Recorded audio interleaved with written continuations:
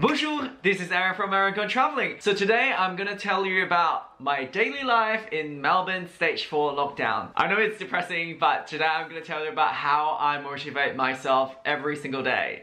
Oh my god, it sounds even more depressing. First of all, it's hard. Lockdown can take a toll on everyone's mental health and physical health, whether you like it or not. People lose motivation to do things. And that's okay, because you're not the only one that's losing motivation. Everyone is experiencing it. At the beginning of this year, I set up a Google Sheet which helped me immensely in terms of determining, in terms of guiding me what to do every day. It's basically a reward chart. If I read, I get points. If I work out, I get points. If I clean the house, if I cook, if I do something productive really, I'll get points and those points are used to redeem something that's good for me. For example, flight tickets which I can't buy, pair of shoes, some bottle of alcohol or some clothes or you know I'm materialistic at times. I'll show you an example. Okay, so as you can see I titled this Google Sheet as 2020 life goals, different months of the year and this month, I mean last month was August and these are the days of the month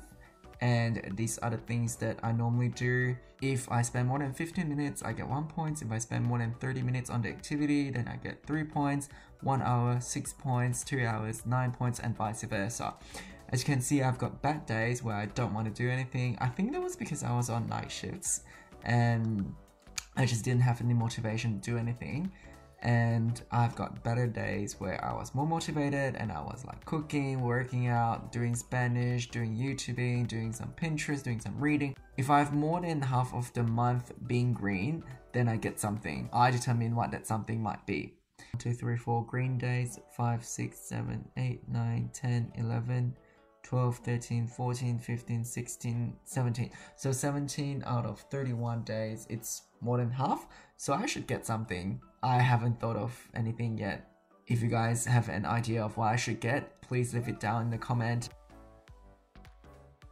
So every day I wake up anywhere between 6 a.m. to 7 a.m. I listen to French or Spanish podcasts. I quickly jot down the new phrases that I learned. And then I attend to my personal hygiene with some reggaeton going on the background when I'm showering normally and I dance. I have breakfast after that, which is normally milk and Weet-Bix. I know that's boring, but also no one ain't got time for some fancier breakfast. And then I go to work. Now that my life has got more regularity as compared to when I was doing emergency medicine, I just have to turn up to work at 8.30 every morning and then I leave at 5 p.m. every day. And I get a half day off on Wednesday as well. How good is that? So working occupies a big part of my day so I don't have to worry about what to do to keep myself productive, you know, on the go, on the go, on the go. Then when it's 5 p.m. when I'm driving back home, I start to think of what I want to do today. So normally I start to plan for my workout because I go back home and I work out straight away. I used to work out for 10, 20 minutes, but now I've increased it up to 45 minutes to an hour because I have nothing else to do anyways. And in terms of the workout I do, I let YouTube inspire me. After working out, I have dinner. I normally bulk cook during the weekends, specifically on Sunday, so that I don't have to worry about my food during the week where I have less time to cook.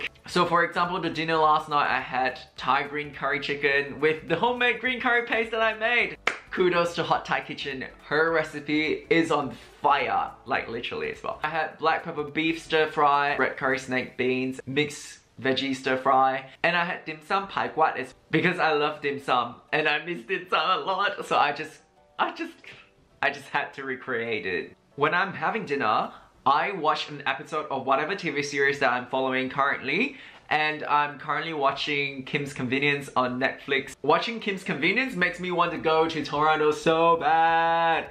Since each episode is only like 20 minutes long, I don't feel too bad about watching a lot of TV. I only watch one episode and after 20 minutes, I'm good. And I don't binge watch because if I do, I can spend the whole day watching the full damn drama. After 20 minutes, I finish up, I wash up, and then I start working on other things like my blog, my YouTube video. So my website normally takes a bit longer to manage and it can take up to like one day to produce a quality post.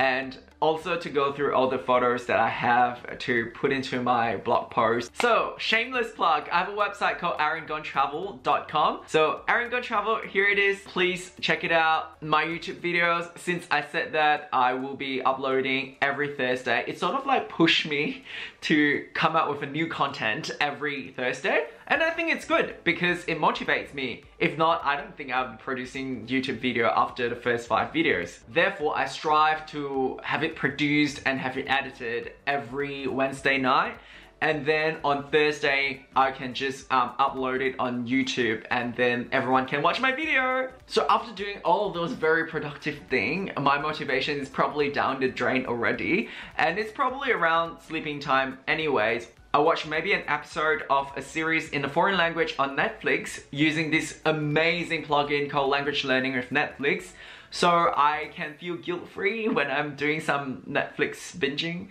And if I don't have that much time, because I normally have to sleep by 11.30 to get enough sleep so that I won't be grumpy the next day, I watch a few YouTube videos in a foreign language or I watch my favorite YouTubers and, and call it a night. That's it for today guys. Thank you for watching. I post a new video every Thursday that's mainly on food, traveling, and languages. If you want to see more of me, hit that subscribe button and I will see you next time. Ciao, ciao.